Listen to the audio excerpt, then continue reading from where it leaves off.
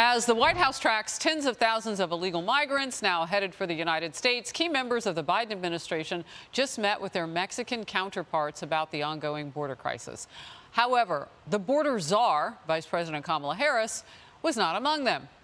The VP was at a New Jersey bakery instead. Look, I live in Jersey. The sweets are fabulous, honey. But get to the border. There's a crisis. Brian? Couple of things. Uh, it's amazing. I've never had someone got a, ever in my life seen someone get assigned a job and have no interest in doing it. A couple of Zoom calls, one visit, goes to the border, goes in and out a sedentary way. The only thing she commented on was when the horse uh, situation, she thought there was a controversy. She immediately ran to a camera and ran in and said, "Oh, this is a problem with the way." Uh, certain Border Patrol members are treating uh, Haitian immigrants. It turns out the investigation is still ongoing because there's nothing there. There's, what you need with uh, Kamala Harris. Well, she likened she it to slavery, didn't oh, she? Yeah, she was unbelievable. And the, all she needs to do, guys, is not solve the problem.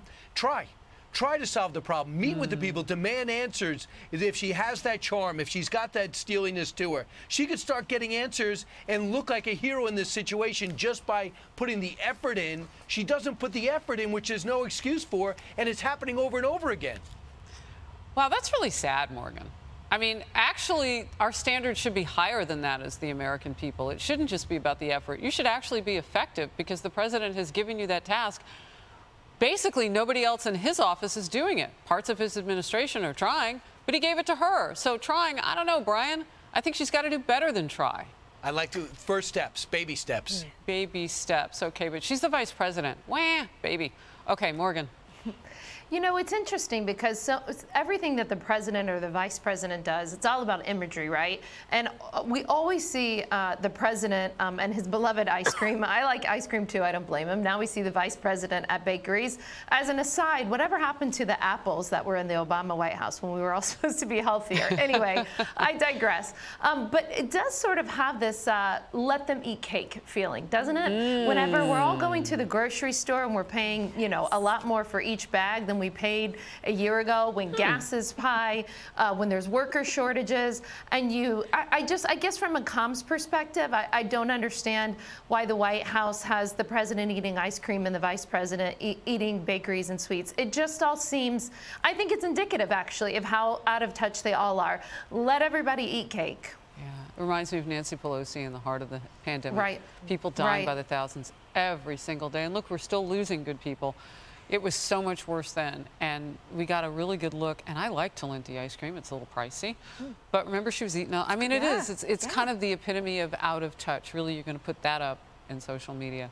You know, I, I do want to get into the nitty gritty because you you both were having such a reaction to what is going on here. What are your thoughts? Because you've lived in California under these lawmakers. You know, this is someone, Kamala Harris, who campaigned on and assured us that she was competent and she was experienced. She campaigned in part on the need for reformed immigration laws, that she, as a woman of color, would champion for the rights and the humanity of those people of color who are trying to come across our border, she said. And now she's missing. And to Brian's point, I, I agree with what he said, however, that if she would just show up, Really? That she could then have measurable impacts that we could take because we all know it's a far more Well, how'd she do when situation. she was in California? Because if she's going to show up and she doesn't succeed, I don't think that's enough. I really she, feel strongly about that. You got to perform. I hear what you're saying. I just, what I mean to highlight is the fact that it's an incredibly complex situation that would likely never be solved within one administration. Okay. And the fact that Mexico is our greatest ally in securing the southern border and she didn't even show up this last time speaks volumes to me who she continues leaving behind and it's everyone that she purports to represent.